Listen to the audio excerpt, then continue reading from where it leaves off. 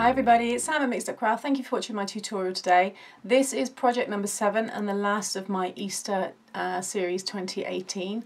I hope you've enjoyed it. I've received so many lovely comments and messages and as always you just you make me feel so happy you guys you're just great so this is the one that we're finishing off with um, the box the actual bag itself is the same as the mini handbag the Dinky handbag and another handbag that I've made. So I'll share all the links for those.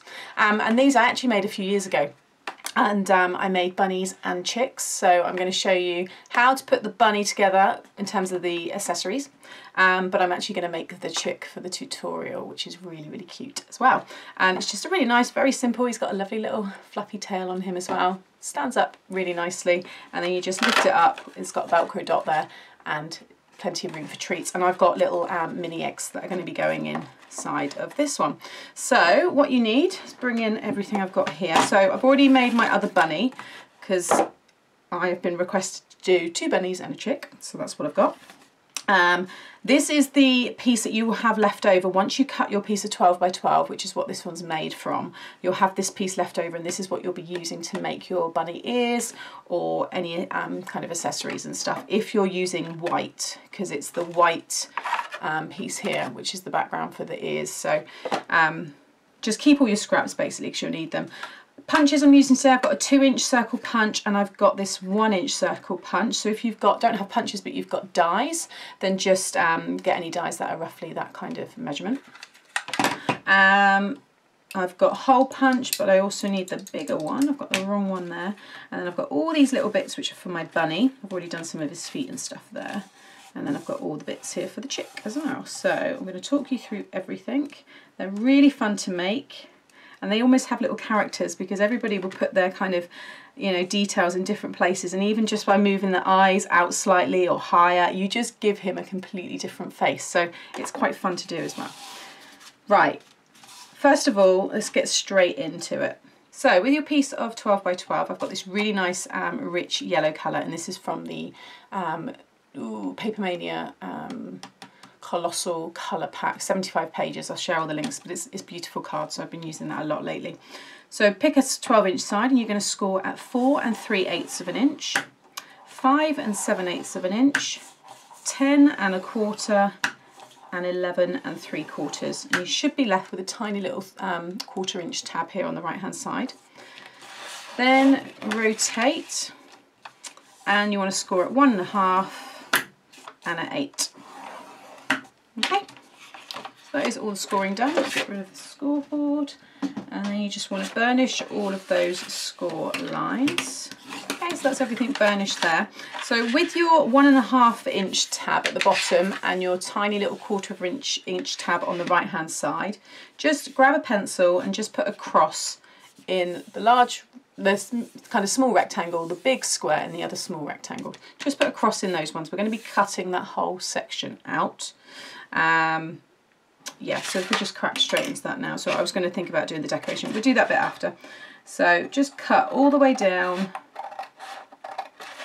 Really nice and neatly. I'm removing that bulky bit of the score line. So I'm just cutting that out completely.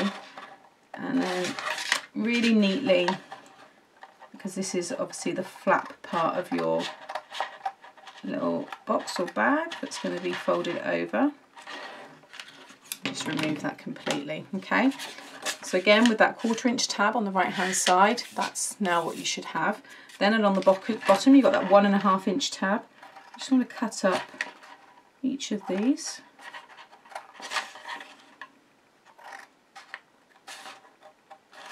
And then that very end one, you're going to remove completely.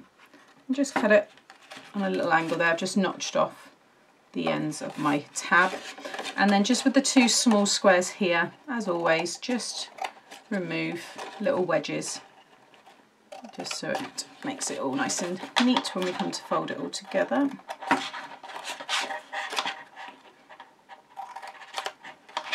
Like so.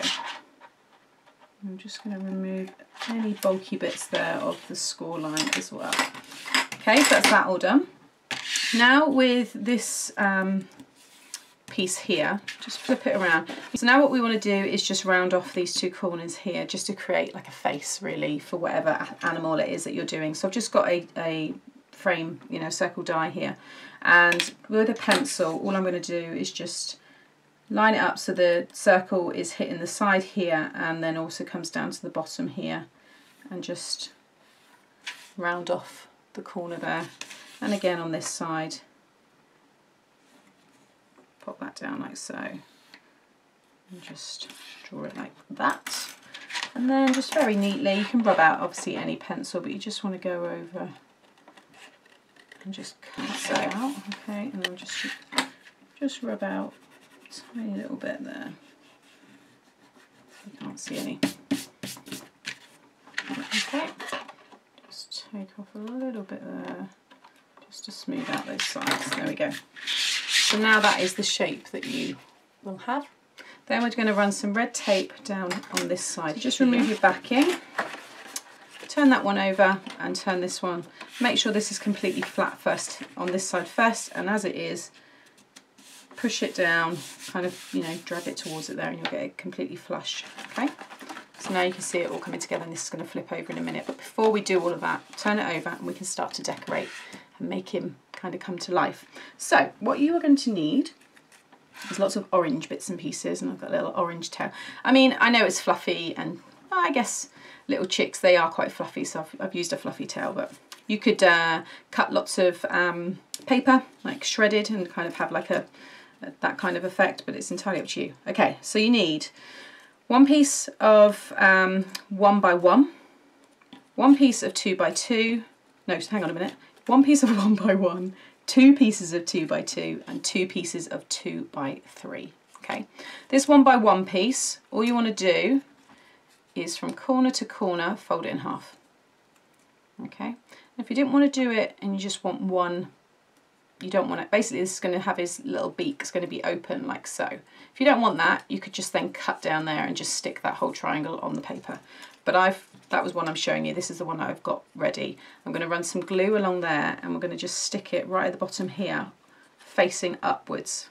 So it's 3D and it will just look like he's talking. Okay. Then with your pieces of two by two, this is what I've already cut. So I'm now going to show you what I've done on here. So I'm just going to rub that measurement out and then very easily and again don't matter if you're you know a bit wonky and things like that it's it's not meant to look completely perfect you know so um, basically you just want to kind of start cutting in three quarters of the way up like so you see what I'm doing there, going straight around in a, like a curve angle. Come down, again about three quarters of the way back down. All right, come back up again. And then you want to line your scissors up with this point here and kind of start going straight up, like so. And again, curve it around, come back down, and then go back up the other side and again just trim that off and then just round off your edges like so. Once you've done that one, stick it over your other piece of 2 by 2 trace around it or just cut around it and then you'll get two feet the same. But there I have my two little feet and basically they are going to go like so on the bottom. Obviously once he's, he all comes together it's going to make a lot more sense, but that's that. And then he's got his little kind of wings, so this is from the 2 by 3 piece. So again, just rub that bit out there. Along the long side here, so this long side here, you're just going to cut in, how far in did I go? So it's kind of like, say half an inch up from each end there, and just kind of come around and just cut it. And then you want to do like a I don't even know what this kind of pattern is but you can kind of see what I'm doing like so. And you will have these two wings Alright, now mine are considerably different to the other, so I'm going to trace around that one again in a minute, and I'm going to trace around my foot again in a minute, which is what you will do because I want to make sure that mine are both the same, but that is basically what you do to get those pieces. And then obviously we've got our beak there as well. Okay, so I've just traced over and cut mine out. So that's what you should have now, is these kind of two little wings, two feet, and his beak. and obviously the tail there. And then also I've die cut um, a circle here which measures, this piece is roughly three and three eighths of an inch. I keep going out for you there. Yeah, about three and three eighths diameter. And then you just want to cut it in half. And it's basically going to be like his belly. So it's going to go at the bottom here. So you just want to cut it in half. Or kind of, I mean, you could have it if you want it quite high. So I'm probably going to cut mine straight across like so. And that's going to sit along the bottom. And then you imagine its little feet are going to be like this. Like so. Okay, so that's the kind of look that we're going for. Um, okay, let's do, uh, do, do, do, do, do. Oh, and the hair. Totally forgot about his hair. Let me just grab a piece of scrap. the best thing for these, I've used these before when I make my tassels, and these are for the kitchen, but they are um, these kind of shredding scissors, so you can cut like vegetables and stuff. And they're great in the craft room because you can shred paper. So all I'm going to do is I don't need loads, so just line it up. They're very very sharp, so do be careful, um, and just cut like so. Go along to the next one and again try and get there we go close up as I can like so.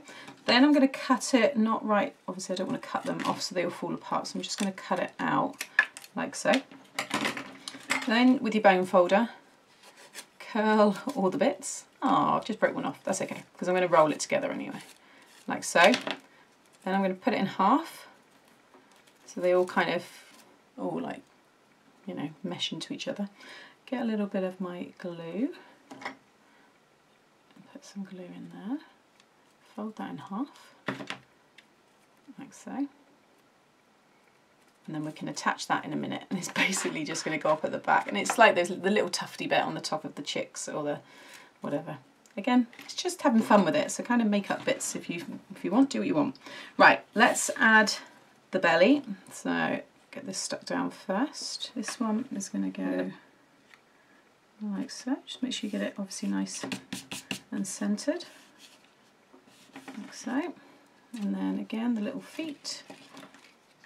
So I'm going to have it slightly off at an angle I think. So again I'm not putting too much on, it's just to keep it in place. I'm going to put it slightly up on an angle like so. You can see already how fun it's going to look. Okay, we'll do the wings in a bit.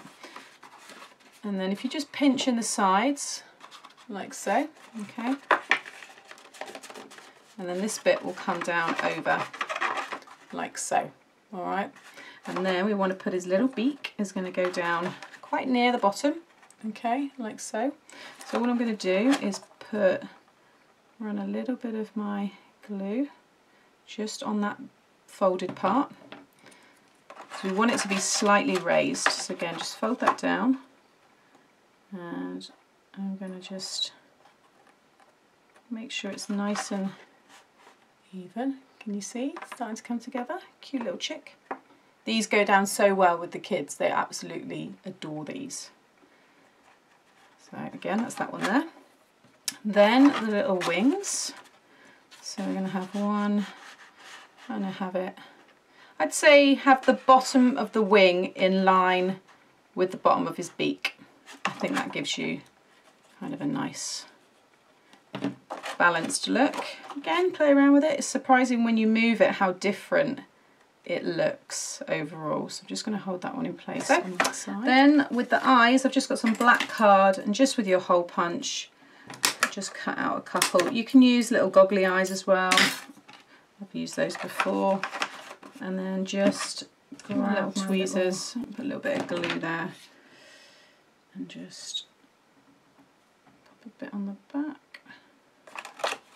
And then bring them, again, like I said, if you put it up there, it gives them a really strange look. If you go out wide, you can kind of see how it's going to look. I'm going to go in, because I want him quite cute looking. So if you go quite close together, give him that really cute little face. Again, Put that one about there. There we go. How sweet is that? then we need to add the hair. So this is going to the hair, but that's going to go at the top like so. Oh, I absolutely love him. He's so, so cute.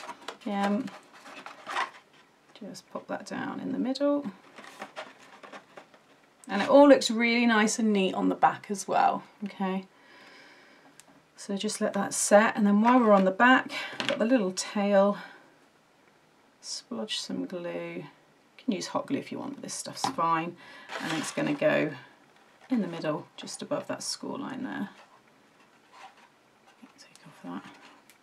Okay, so I'm just going to let that all dry before I stick the base and then we now need to add the Velcro. So I've just got same Velcro dots that I always use. Again, I'll share all the links. Pop it just underneath the beak there on the top of the lid. Bring it down and just apply some pressure on there. Obviously we can just fold up his beak a little bit there because I don't want that. Got to stay open like so. See it's lifted. And then all we need to do now is stick down our base. So this piece, the, fr the front piece, you want to go down last. So I'm just going to push that up. I'm going to put the back one down first. Okay, so you get a nice closure. And just bring down the last one. Turn it up on its side. Open up the front. And just with your ruler, can just push down the base there and make sure that glue is all spread out nicely. And also just make sure your Velcro is all pushed down as well.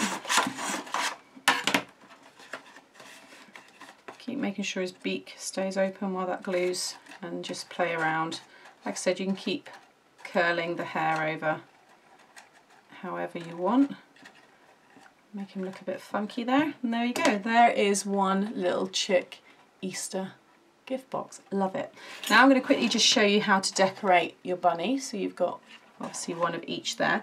So I had already done this piece, so I've already cornered off the edges and everything as well. Like I said, this is the leftover piece like you have this leftover piece of yellow, but for the bunny you want to create the ears. So my ears were, yeah, so one and a half is fine. So long, if I just trim off these two bits here. And it's just the same way as you do the feet really, just kind of freestyle your ears. So roughly one and a half wide and I'll do the other one coming out from this side like so and, and all I'm going to do is just kind of go up uh, and around and then join back down like so I'll cut that one out and then I'll just trace it into that section there so just quickly that one cut out and then just put that Again, line it up where I just done that pencil at the beginning and just trace around. So it's just how I done my unicorn bag as well. So again, I'll share that one if you want to do some, some fun little critters. Just rub out any of that pencil because you obviously really see so you've got two ears. White. Then I've got some scrap pink. All the other little bits here that I'll show you in a second scrap pinky colour. So the base, the bottom there is one and a half. So with the ears, I'm going to do them at one. So again, I'm going to just trim this down a bit because this is a really scrappy bit of scrap. just kind of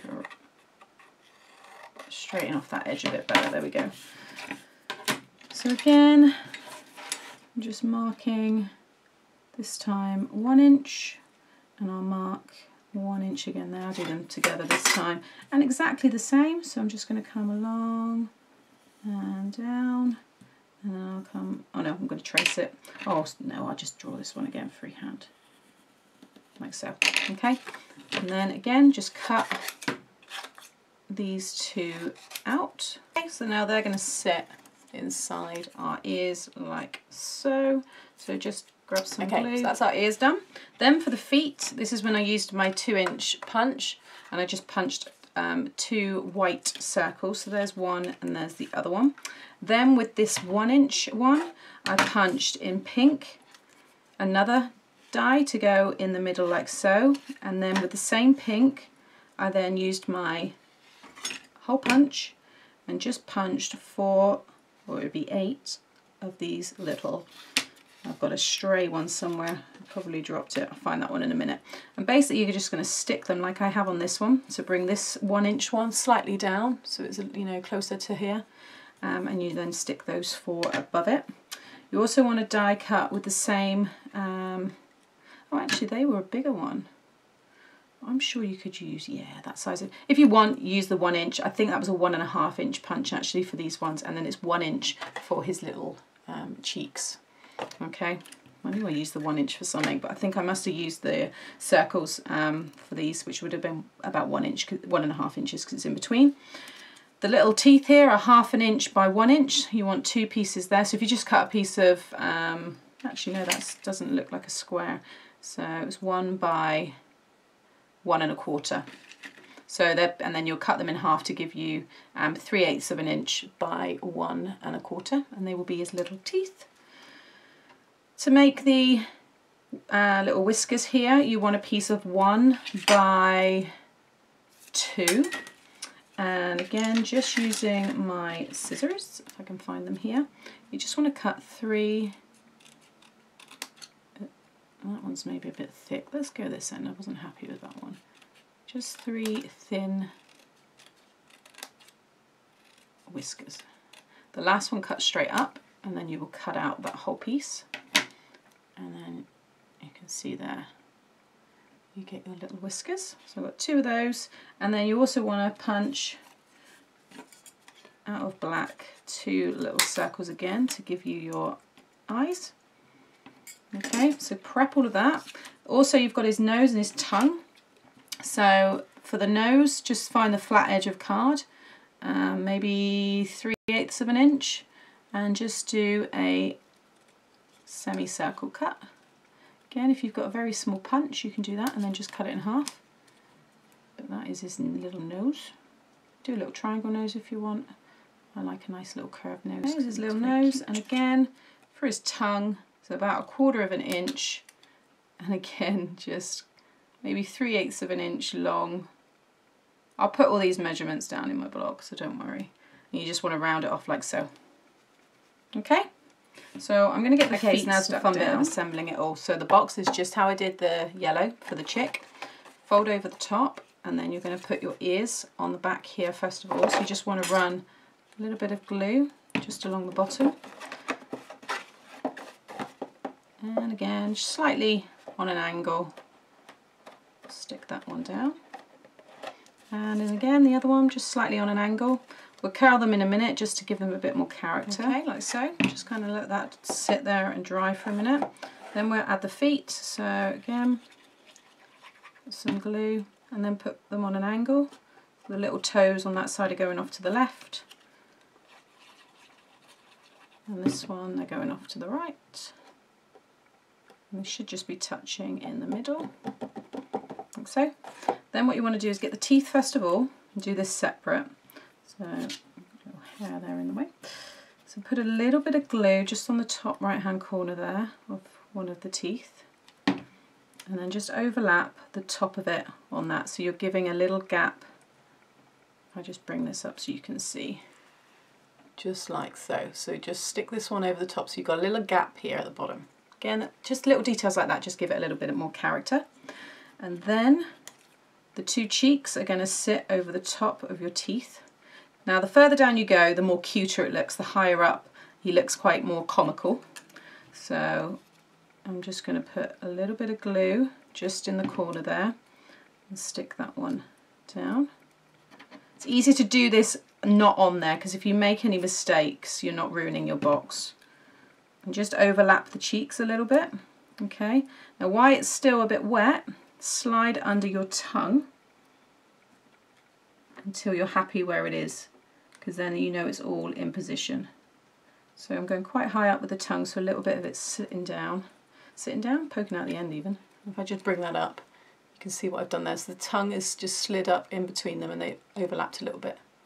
Okay, then the nose is going to go above that and kind of cover the, the top part of the little cheeky bits. Again, just a little bit of glue and just put that over there. I mean, everyone will look different. Like already he's looking different to the one that I've done. He still looks really cute. Now this is going to go here. And it's going to go quite near the bottom. I've got about one eighth of an inch showing there, okay? So just put some more glue on all of this. And make sure the teeth are in between the feet so you know you're getting it all nicely centered like so.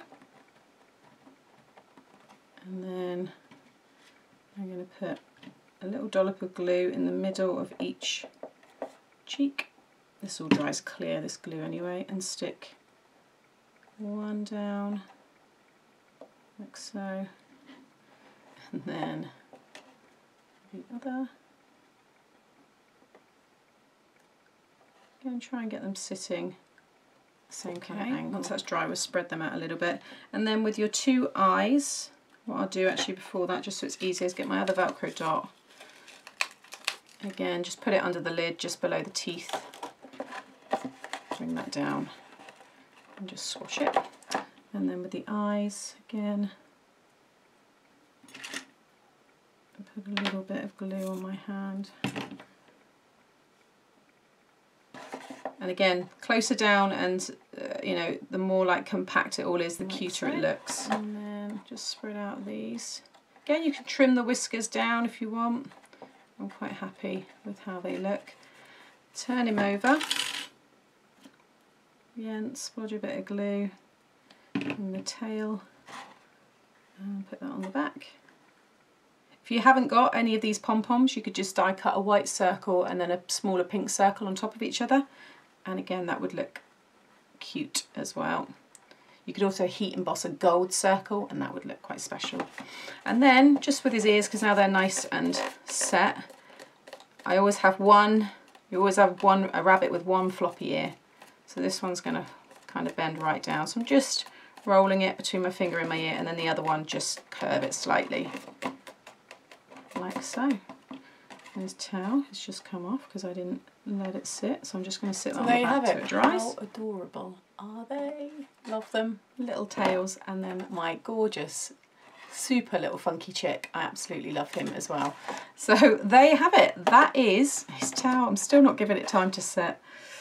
He needs to sit. I'm going to rest it down like so. There we go. Um, so there you have it. I hope you've enjoyed the last tutorial. I hope you've enjoyed the whole of this Easter series. I've thoroughly enjoyed making it and my baskets look so cool. I will post pictures up on my blog and on Facebook so you can see them in all their glory. But I hope I've given you like tons and tons of um, inspiration and um, you go off and make some wonderful Easter gifts. So um, yeah, that's it. Please subscribe if you want to continue seeing fun projects from me and hit that like button if you enjoyed today's tutorial. Thanks for watching. Bye.